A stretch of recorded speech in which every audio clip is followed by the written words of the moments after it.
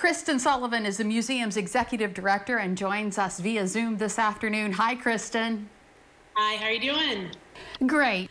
The reopening is finally here, and your team must be thrilled.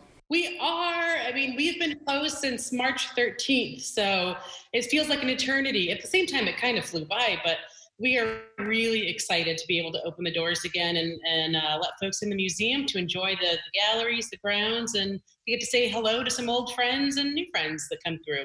And like everything else, you're not coming back to the way things used to be. Tell us about some of the measures you have in place for safety. Yeah, absolutely. You know, we want to open as safely as possible, keeping in mind our visitors, staff, and everyone.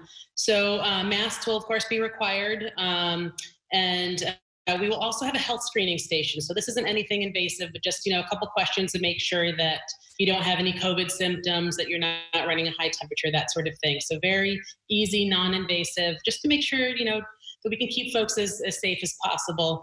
Um, of course, we'll be requiring you know some distance, um, so so folks can keep you know at least six feet or so from from other groups. Um, we've also had to remove some of our interactive displays to reduce you know how much folks are touching things that other people have touched. But but by and large, you know, the galleries are there for your enjoyment. The grounds are here. It's a it's hot out there, but it's a beautiful day to be near water, so it's a great time to take a walk by the park. Um, so, folks, you know, hopefully we'll come by and enjoy some of the beautiful art and nature at the Ward Museum. And you're also offering um, some special hours for certain groups of people.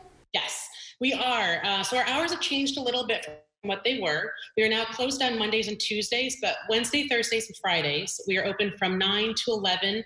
And that's for seniors um, or other folks who are in vulnerable populations who may want a little bit extra distance or you know just a little extra time to go through the museum away from other folks. So from 9 to 11, Wednesday, Thursday, Friday. And then Wednesdays through Sundays, we're open 11 to 4 for the general public. So can you touch on um, some of the exhibits currently at the Ward Museum?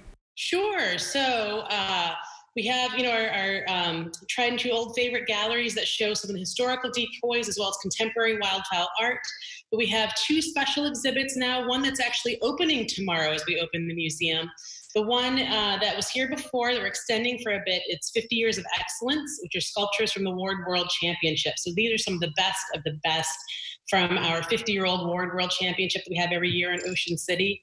Uh, we also are opening tomorrow. It's Nature in the Abstract, the art of Eileen Olson. So, Eileen is a fine artist from Delaware, so a Delmarva based artist who does beautiful abstract impressionist work.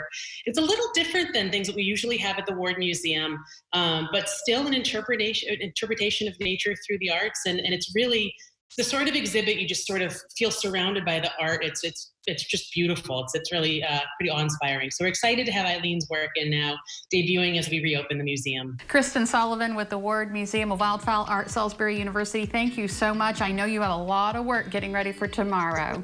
it's all right. I'm so happy to be here. Thank you very much for having me.